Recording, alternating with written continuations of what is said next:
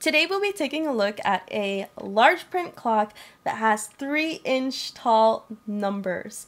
One really cool thing is you can adjust the brightness with a dimmer on the back. I'll also be giving one of these away so stay tuned for that one. Let's talk about it. Hi everyone, it's Carrie on Accessibility. I talk about technology and accessibility.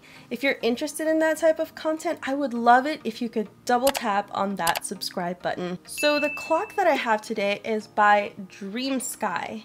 It has 3 inch large numbers as I mentioned. They also have a 2 inch model but I really like the 3 inch large numbers. It's really clear, really bright. You can adjust it like I mentioned. And I think it's a really nice clock for somebody who's low vision or visually impaired. Now this clock doesn't talk, so if you're not able to read print, this may not be the right clock for you.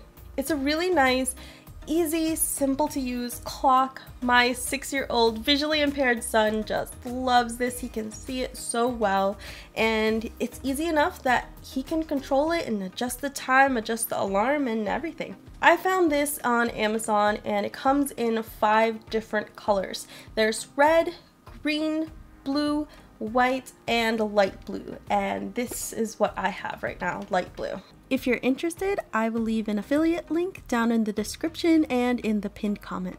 You can show the time in 12 hour or 24 hour format. It also has an alarm and if you tap on the top of the clock, that is the snooze button. It's powered through USB and it comes with a USB-A to USB-A cable and also a power brick. It also has a battery compartment on the back, but the clock is not powered by battery.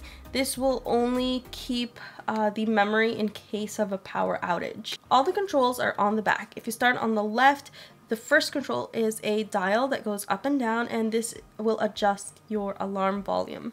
The next button is a large button and this is to set your time. You press and hold this and then you can use the next two buttons which are plus and minus and this will adjust the hour.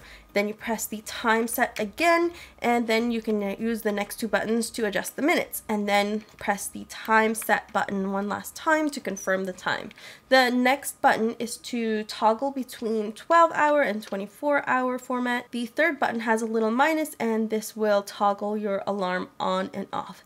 The last button is the alarm button and if you press it it will show what your alarm is set to if you press and hold it you can set the alarm just the same way that you set the time the last control all the way to the right is the dimmer control for the light on the clock you can just turn it all the way down and if you turn it all the way down it will turn off without turning off the clock. I think the dimmer is such a nice feature. You don't necessarily want a really, really super bright light at night, but during the day, if you want to, you can have it really bright and easy to see. I think it's a really nice clock. We've had it for about a week. We haven't had any problems. DreamSky was gracious enough to send a clock that I could give away. This is the model that has white numbers on a black background.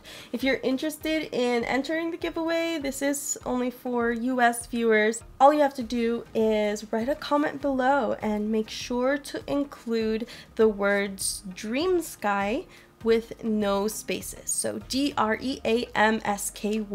I'll be picking the winner with a random comment generator and that will be on Tuesday during my live stream. So hopefully you can stay tuned on that. That's pretty much for this one. If you like this video, give it a thumbs up below and hopefully we can do more giveaways like this. Don't forget to subscribe and that's it for this one. Thanks for watching and I'll catch you in the next one.